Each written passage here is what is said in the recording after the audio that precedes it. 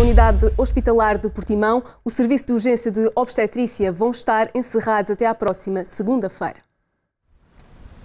A falta de médicos no serviço de urgências de obstetrícia do Hospital de Portimão obrigou o encerramento do serviço esta terça-feira e a situação vai prolongar-se nos próximos seis dias.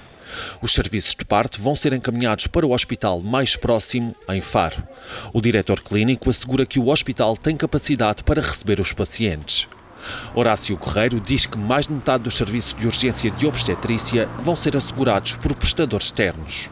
Mas além da falta de médicos, verificam-se problemas crónicos e estruturais, mas a segurança e o tratamento das grávidas e das crianças não está em causa. Assim, nos próximos seis dias, as grávidas da região do Algarve que precisem de cuidados devem dirigir-se ao Hospital de Portimão apenas em casos de extrema urgência. O diretor clínico apelou, entretanto, ao INEM que seja rápido e eficaz no transporte de pacientes durante este período. No total, o Hospital de Faro precisa de mais três médicos especialistas e o de Portimão de dois.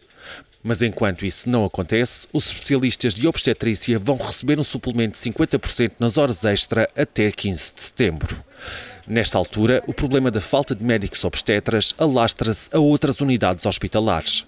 A urgência de obstetrícia do Hospital do Barreiro reabriu esta terça-feira, depois de ter estado encerrada. Também o Serviço de Urgência de Obstetrícia reabriu no Hospital Nossa Senhora do Rosário, no Barreiro. Entretanto, o presidente do Sindicato dos Enfermeiros disse hoje que também o Hospital Garcia de Horta em Almada continua mergulhado no caos. De um total de 76 enfermeiros ao serviço na urgência, há quatro de baixa por gravidez de risco, dois por Covid-19, três ausentes com licença de maternidade e dois por doença.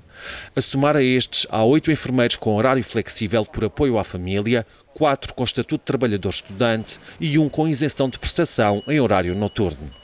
Por só existir um médico disponível para assegurar a escala do serviço de urgência de obstetrícia, a partir das 8 da noite o serviço vai estar fechado. Os casos urgentes vão ser encaminhados para outros hospitais da região.